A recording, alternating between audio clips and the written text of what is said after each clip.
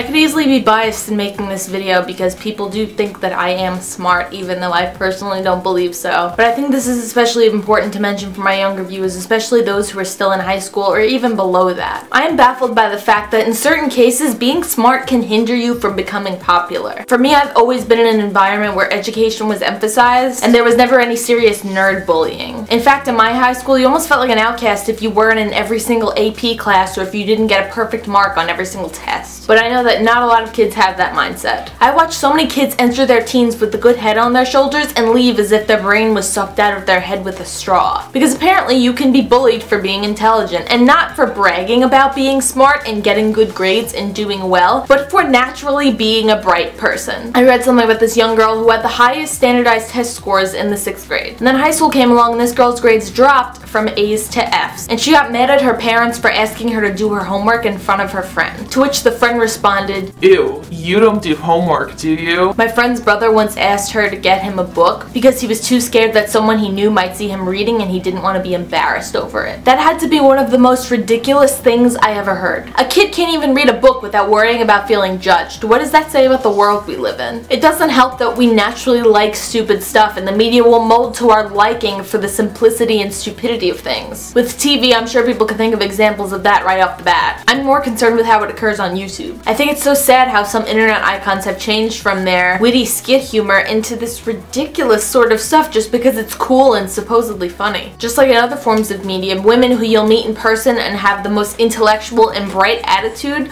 are the ones who are making goofy faces, putting on a fake slow voice, and putting themselves down in front of the camera. And there are the guys that make silly faces that connote stupidity in every single video, just to try and get the attention and views, instead of being their natural selves. And it's contagious. Tell me a 12 year old boy who just watched a marathon of violent television isn't going to act somewhat violent afterwards. That has been proven. What's glamorized by the surrounding media and peers and also what the parents are enforcing is what the kid's really gonna pick up on. Unfortunately, the containment and hiding away of intelligence is one of those things. I just want to remind people that no matter who you are, it's fine to just be yourself. It goes both ways. You shouldn't purposely act smarter to try and impress other people, and at the same time, you shouldn't be dumbing yourself down to fit in either. If you're unhappy with yourself, change yourself for yourself. Don't put on an act for other people. But if you're personally fine with being intelligent or being below average, that's fine, embrace that. If you like who you are, don't hide that away. So let me know in the comments an aspect of yourself that you feel that sometimes you try and hide from other people. It could be a guilty pleasure, a certain behavior that you don't like other people knowing that you actually do, or anything else, just let me know. So thank you for watching and I will see you next video.